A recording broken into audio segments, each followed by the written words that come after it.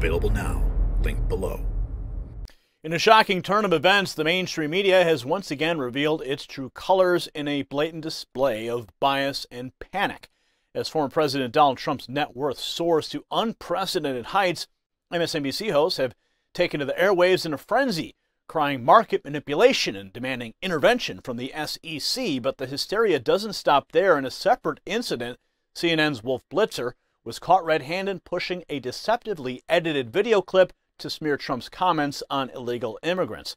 Fortunately, a brave pundit stepped in to fact check Blitzer live on air, exposing the depths of the media's dishonesty. In this special report, we'll uncover the truth behind these alarming events and explore what they reveal about the state of journalism in America today. And you don't want to miss my final thought on this story because it matters to every American. Now, before we continue, let me ask you something. Are you feeling the weight of the current economic climate? Just like how the mainstream media relentlessly attacks President Trump, debt can feel like an overwhelming burden, but there is a solution. National debt relief has helped countless Americans, including myself, regain financial stability. With their personalized approach and top rated service, you can get a free consultation and a customized plan to tackle your debt head on. No upfront fees, just real solutions. Visit NoDebtWithGary.com to take the first step towards financial freedom. Just like how we must stand up against media bias, taking control of your debt is crucial. Remember, that's no debt with NoDebtWithGary.com. Now let's get back to our eye opening report. In a stunning display of hypocrisy, MSNBC hosts have been sent into a tailspin over the unprecedented surge in former President Donald Trump's net worth. Last week, shares of Trump's latest ventures skyrocketed, reaching a staggering $8 billion valuation and adding a reported 4 billion to his personal wealth. the network's personalities wasted no time in expressing their disbelief and outrage, with some even questioning the role of the Security and Exchange Commission in what they decried as blatant market manipulation.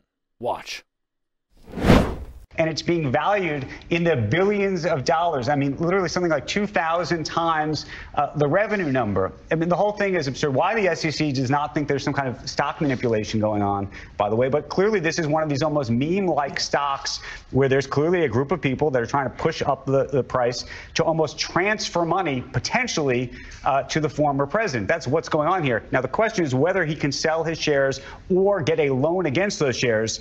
Uh, the only way that can happen right right now. He can't just go sell the shares tomorrow. He would need to get permission from the board, and that would then have to get disclosed. By the way, that unto itself could tank the stock even more because he would have to be a massive seller of the stock. So okay. that's where we are. Mika, even yesterday when the stock went down 20, 25%, let's put this in perspective. Yeah. It is still valued at a number greater than what Harley Davidson, Bausch and Lomb are valued at. Those are companies that make products and make billions of dollars. Technically speaking, speaking, you would say this company is fakakta. It does not do anything. Okay. Any other social media but, platform that went public has a real business, has has product innovations. This is nothing. All this is is Donald Trump posting. And so you've got, as Andrew said, you know, that whole kind of Wall Street bets, Trump loyalists, rah rah boys saying, I'm going to take this thing to the moon.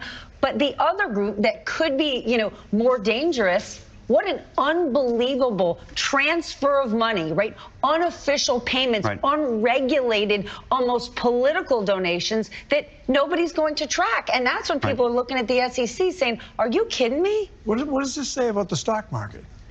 Well, I mean, it, it doesn't doesn't speak well about the stock market, but this is true. I mean, that's why I said, where's the SEC in this? Because this is one of those true manipulations of sorts. And by the way, some of that manipulation is even happening on uh, different social media sites, including uh, Truth Social, about how this all is working. Meaning, people are prop, trying to push up the price in almost like a pyramid-like way. Yeah to try to get money to the president to try to effectively influence the outcome of the election. And why nobody's sitting around going, what is going on here? This makes no sense. And it's We're happening. definitely watching it, right? The SEC is watching this thing right. like a hawk. And listen, he's worth all this money on paper right now, but giddy up because the day he goes to sell this thing, look out below. Well, to your point, it's going but to, to your tank. point, this is a metaphor for what he how he deals yes. with his voting people. He ends up screwing everybody. So he would if, if anybody gets any money out of it, it'll be him. But you have all these people here who are buying worthless stock. Right. And but then so it's on them. but what I right, let it be them rather than right. taxpayer dollars. The other thing, the other reason also this is never going to make money is nobody's going to advertise on a Trump right. platform. You can't you can't get adver- other than you know gold bullion or cra- these crazy things that you, see, that you, used to see on, on Tucker Carlson show. You cannot yeah. monetize this. You cannot sell ad space on this thing. So I don't know where the revenue stream is going to ever be in this company. So John Heilemann, give us your take. First of all, you can try to spell the word Stephanie used earlier a moment ago if you'd like. Oh, you need to choose. Uh, gotcha. That's, the, that's when you come to the joke. but beyond that, like we we know that Truth Social is is not Twitter in, in terms of the pre- former president's reach. He doesn't go to nearly as many people, but it's still an avenue for him to, you know, it gets amplified on cable and so on. You know, but this feels like it's a financial lifeline and another moment where people look around going, man, he's going to get away with it. They are just in panic. No advertising on Truth Social? Have you been on the platform? The host highlighted the company's valuation, which at its peak was a jaw dropping 2,000 times its revenue. And they were quick to label this as absurd, demanding to know why the SEC hadn't intervened. And then, of course, the discussion delved into the potential mechanics of how Trump, the frontrunner for the 2024 presidential race, could capitalize on the surge in paper wealth. Now, for Trump to convert his soaring net worth into liquid assets, he would need approval from the company's board, a move that, if made public, could potentially tank the stock even more due to the massive sell off it would trigger. But he doesn't have to sell off all of it, does he? No, maybe just a couple percent, and then uh, he would be fine. Now, MSNBC's Stephanie Ruhle went so far as to describe the former president's company as fakakta, which is a Yiddish term meaning nonsensical or messed up. And she claimed that unlike other uh, social media platforms with tangible business models and innovation, Trump's venture lacks a concrete strategy beyond serving as a platform for his own postings. Well, isn't that interesting? Trump's postings are worth quite a bit, aren't they? Now, she continued that quote, unofficial payments, unregulated, almost political donation, nobody's going to track. And that's when people are looking at the SEC and saying, Are you kidding me? This financial phenomenon has placed Trump's media's firm share price at astonishing 2,000 times its revenue, drawing attention from both investors and critics. However, the mainstream media's attacks on President Trump extend beyond his financial success.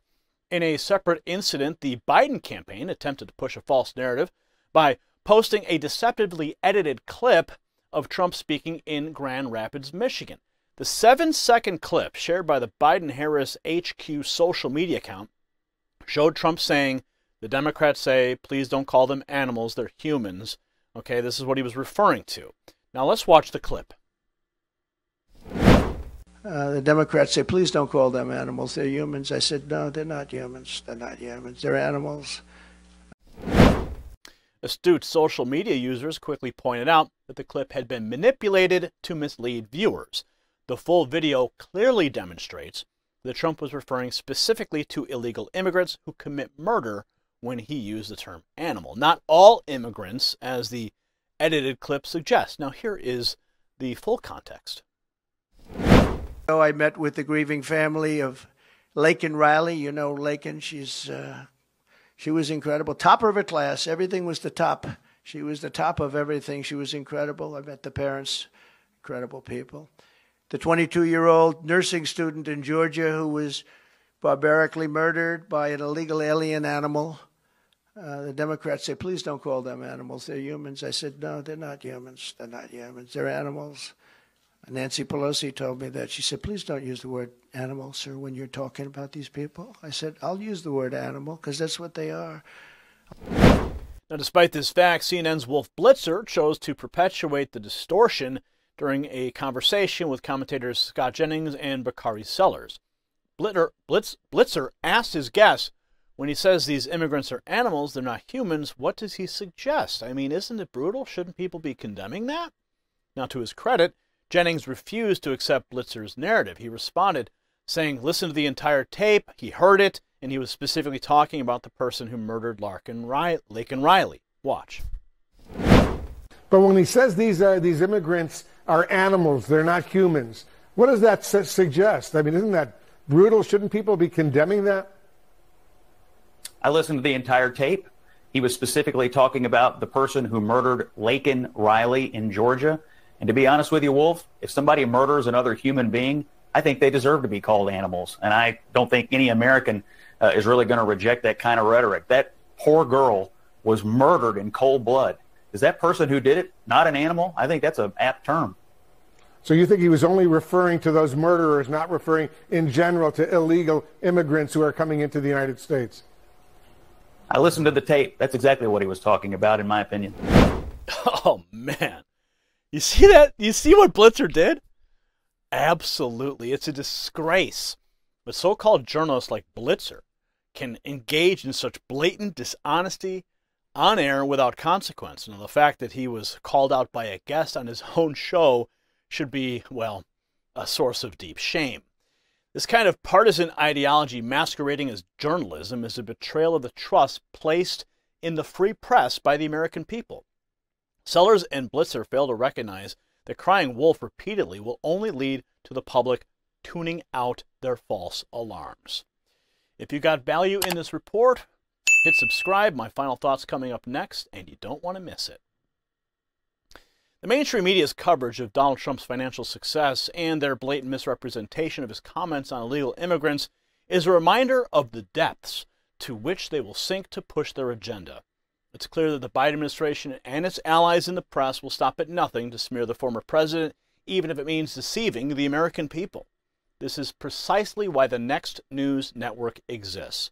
We're here to expose the false narratives and outright lies perpetuated by those in power and their mouthpieces in the media.